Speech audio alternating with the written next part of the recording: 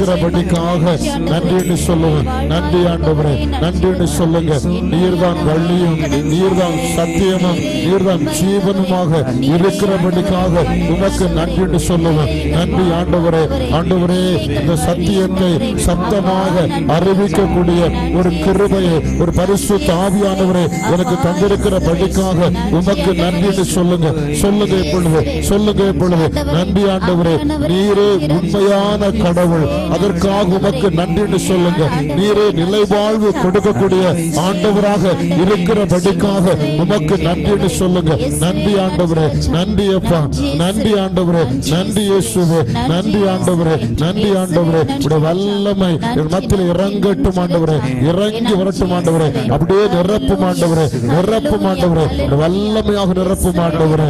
நன்றி இயேசுவே. நன்றி ஆண்டவரே. அப்படியே கண்களை மூடுவோம். கண்களை மூடி முழுமையாக ஆண்டோடைய கரங்கள் நம்ம அப்படியே ஒப்பு கொடுப்போம். யோவான் பதினாலு ஆறில் சொல்லப்படுகிறது.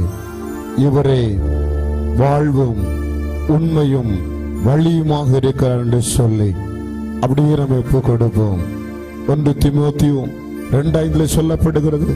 இவர்தான் நமக்கும் கடவுளுக்கும் இடையில் நின்று கொண்டு இணைப்பாளராக செயல்படுகிறார் என்று சொல்லப்படுகிறது. அப்படியே நம்ம ஒப்பு கொடுப்போமா? நமக்காக இன்றைக்கு இணைப்பாளராக இருக்கக்கூடிய இயேசுவுக்கு முன்பாக நம்ம அப்படியே ஒப்பு கொடுப்போம். பிரியமானவர்களே திருத்துதல் பணிகள் பத்தாம் அதிகாரம் நாற்பத்தி ரெண்டு நாற்பத்தி மூணுல சொல்லப்படுகிறது. அவர் நமக்காக நமக்கு நடுவராக இருக்கிறார் என்று சொல்லப்படுகிறது. அப்படியே ஒப்பு கொடுப்போம். நடுவருக்கும் நடுவரிடத்திலே முழுமையாக அப்படியே நம்ம ஒப்பு கொடுப்போம். எபிரேயர் ஏழாம் அதிகாரம் இருபத்தி ஐந்துல சொல்லப்படுகிறது. அவர் நமக்காக பரிந்துரை பரிந்துரையாளராக இருக்கிறார் என்று சொல்லப்படுகிறது. ஒன்று யோவான் ஒன்றாம் அதிகாரம் ரெண்டுல சொல்லப்படுகின்றது.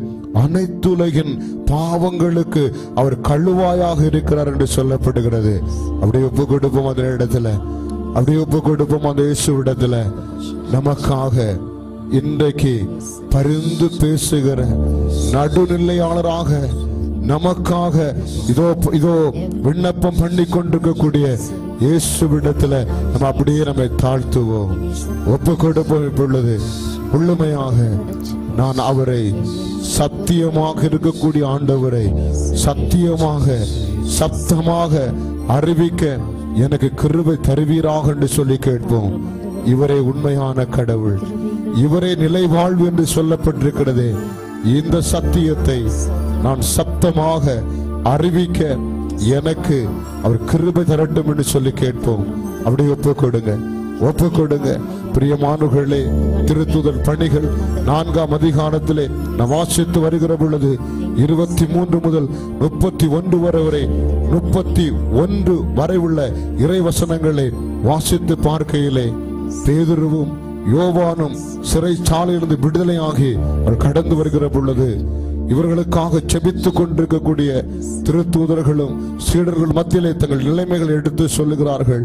இயேசுவை அறிவிக்கவே கூடாது என்று சொல்லி சொல்லுக சொல்லி அவள் எல்லாவற்றையும் சொல்லுகிறார்கள். வேதனையோடு துக்கங்களோடு எல்- துக்கங்கள் வேதனைகள் எல்லாவற்றையும் மறந்து எல்லாரும் ஒருமனப்பட்டு ஜபிக்கிறதும் பார்க்கிறோம்.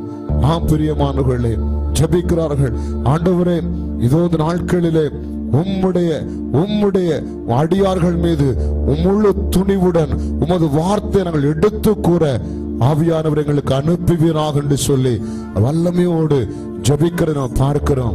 ஜபிக்கிறார்கள். வல்லமையோடு ஜபிக்கிறோம்.